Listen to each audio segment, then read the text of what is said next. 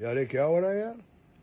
कल जब मैं कैलकाटा से वापस बॉम्बे पहुँचा, एयरपोर्ट से जैसे ही गाड़ी में बैठा, मैंने अपने बाजू वाली सीट में देखा, तीन फ्लास्क पड़ी है। मैंने ड्राइवर से पूछा, ये फ्लास्क तीन क्यों है? बोले, तीनों में गर्म पानी है, एक में इलायची का पानी है, एक में सौंफ का पानी है, एक में हल्दी का पानी है। और मैडम ने बोला, साहब को बोलो, हर दो मिनट के बाद ये गर्म पानी पीना ही पीना है। मैंने कहा, क्यों पीना ही पीना है? बोले, आपको नहीं मालूम, ये जो कोरोना है ना, इसकी एक बहन भी थी जो अफ्रीका से चल चुकी है। बहुत डेंजरस बहन है और इसकी बहन का नाम है ओमिक्रोन बहुत डेंजरस चुड़ैल है ये।